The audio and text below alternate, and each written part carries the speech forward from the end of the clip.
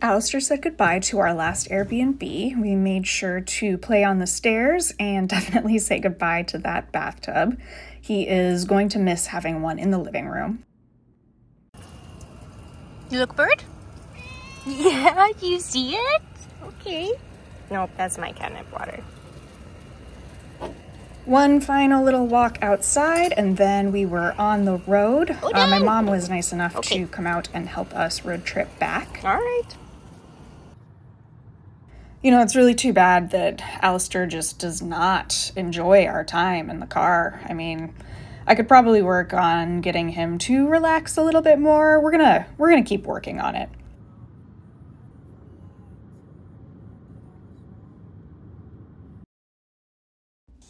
We kept the days a little bit shorter so that we could stop and make sure that Alastor got the chance to explore a whole bunch of stuff. Uh, as you can see, I have my trusty fanny pack with churro slinging, necessary equipment. It's possible I did too good of a job getting him to like his carrier. We're here for the night, bud. He says, I love this. I just love it. Do you wanna you wanna sleep in your carrier? You can. Okay. When the weather wouldn't allow for outdoor activities, we made sure that Alastor got his energy out inside.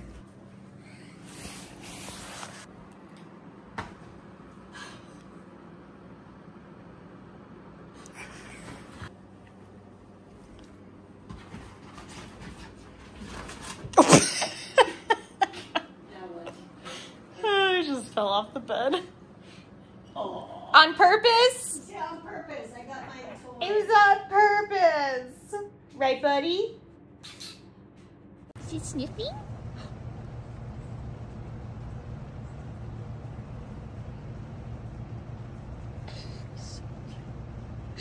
I don't know why he's wearing that as a hat, but We usually get the question of why Alastor is not in a carrier during our drives, and it is a great question.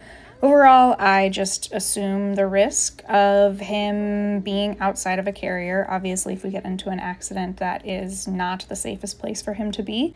But I always try to weigh his mental and physical health, and in this instance, his mental health is much more important. He would go crazy if he was in a carrier for four days for 10 hours a day. They're gonna get you. He really pissed off these magpies during this walk. You're surrounded. They're coming closer. He says, I have you as my body. I know, right? He's like, I'm not afraid.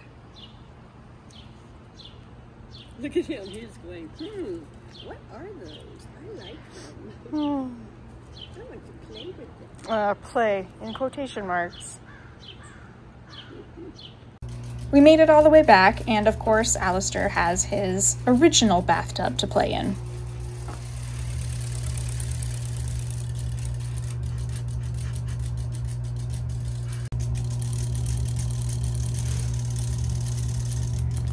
You're not a very good hunter. well, this isn't helpful.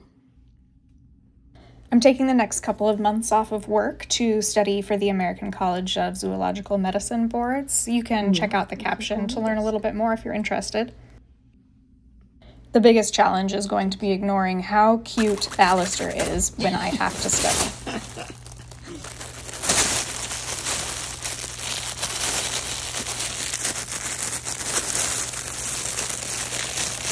The next two minutes of this video are just Alastor figuring out how to Good climb job. his tree Oh. again because he has seriously forgotten how to do it. So enjoy that or fast forward to around six minutes. He was he was just so confident about it. you are, bud.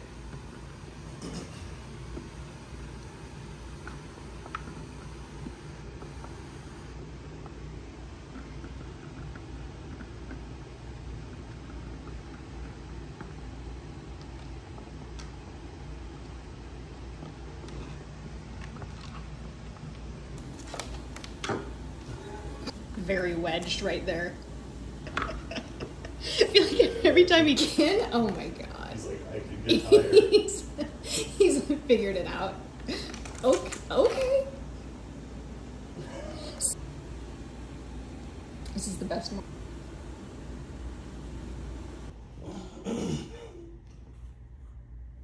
oh, I'm so tired. I'm so tired.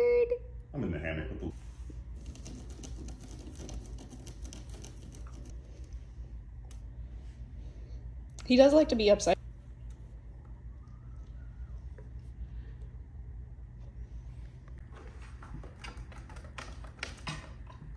Yeah. Oh yeah. yeah. Oh no.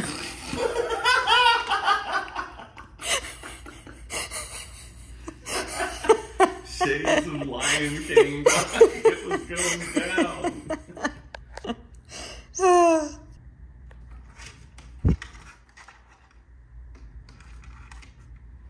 Perfect. Yeah, I, you're right. That was absolutely the easiest way you could have possibly done that. Mm-hmm. Yeah, buddy.